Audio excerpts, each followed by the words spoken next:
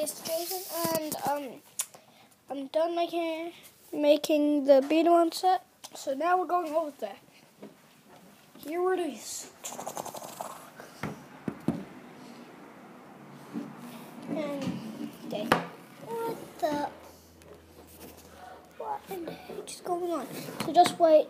I need to do something.